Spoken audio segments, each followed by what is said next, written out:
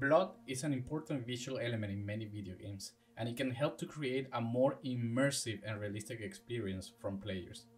There are a few key things we should take in consideration. Firstly, we should consider the shape of the blood. These include factors such as the size and the shape of the droplets, as well as how the blood spreads and interact with different surfaces by examining real life blood effects in movies and other media, we can gain a better understanding of how to create blood effects in our games. Secondly, we should pay attention to the color of the blood.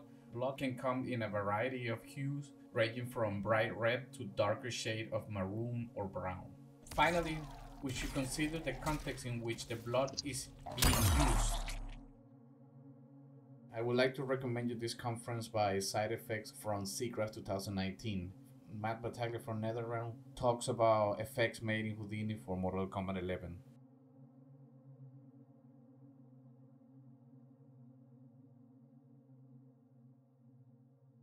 Alright, so we're gonna start by creating a sphere, increase the frequency so we have uh, more points to play with.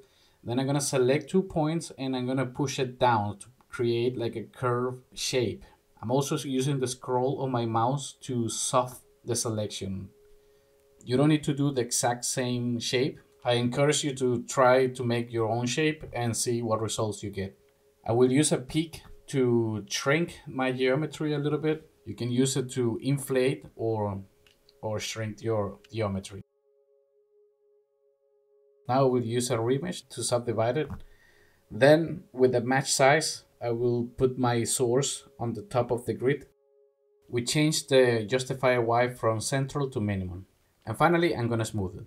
Okay, at this point, I will change the source until I get something that I think will help me get a, an interesting liquid shape.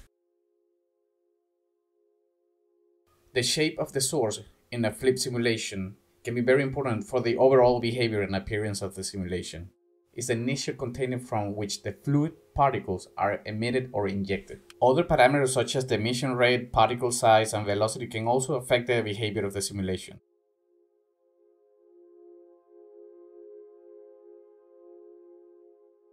So for this example, we're gonna use the point of the source and tell it to look to a second point.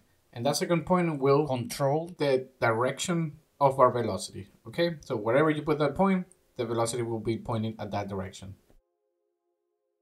Okay, to do this, let's place an attribute wrangler, a fuse, and change the snap distance of the fuse to 100 and plug it into the second input of our wrangler. Let's use an add to create a point. This will be our target point and connect it to the third input of our wrangler. We're gonna type a little bit of code and I will explain how does it work we need to compute two vectors that represent directions and then use interpolation to estimate the values of the vector between the two points. For the first direction, we subtract the point in the second input, that will be the controller, minus the point from the first input, the fuse point. We're gonna call this direction 1 or dir1.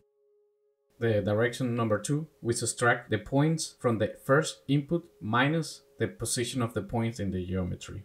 Using these two vectors, we can start calculating the velocity vector. We can use the lerp function to interpolate between the two vectors and multiply the result by the fit range of 1 to 5 for each of the random particles.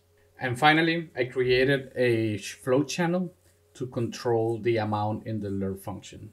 So I suggest you to give it a try, change the number in the lerp amount or change the range and see what results you get. By now, we should have a nice source to emit the particles and a velocity that we can art direct. In the next video, we will look into preparing the source for simulation and simulating it. So if you have any question, please let me know in the comments and I will get back to you as soon as I can.